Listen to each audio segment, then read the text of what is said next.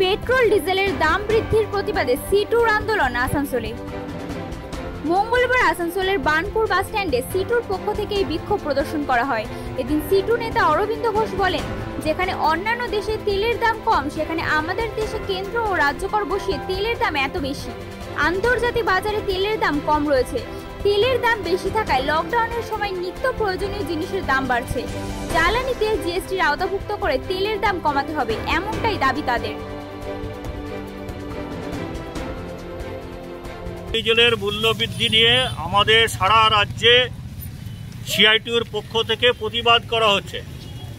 আপনারা ইতিমধ্যেই জানেন যে আমাদের যারা আমদানি করি কাঁচা তেল, সেই কাঁচা তেলের দাম হচ্ছে এখন সারা পৃথিবীতে দাম কম, ষাট থেকে বাষট্টি ইউএস ডলার। অথচ আমাদের দেশে দুনিয়ার মধ্যে সবচেয়ে বেশি পেট্রোল, ডিজেলের দাম। আমাদের হচ্ছে ছাপ্পান্ন শতাংশ হচ্ছে পেট্রোলের উপরে হচ্ছে কর বসানো আছে। কেন্দ্রীয় সরকার, রাজ্য সরকার কর বসিয়েছে। ডিজেলের উপরে হচ্ছে বাষট্টি শতাংশ কর বসিয়েছে। এই কর যদি তুলে দিয়ে জিএসটি বসানো হয়, তাহলে পেট্রোল, ডিজেলের দাম হচ্ছে আমাদের দেশে কেম- যাবে। মহামারীর সময় জিনিসপত্র দাম বাড়ছে, তার অন্যতম কারণ পরিবহনের খরচা হচ্ছে বাড়ছে। পরিবহনের খরচা বাড়ার ফলে জিনিসপত্র দাম বাড়ছে। সিআইটিউর পক্ষ থেকে আমাদের দাবি কেন্দ্রীয় সরকার সরকারের কাছে অবিলম্বে হচ্ছে পেট্রোল ডিজেলের কর কমিয়ে দিয়ে দাম কমাতে হবে দেশের সবারকার স্বার্থে।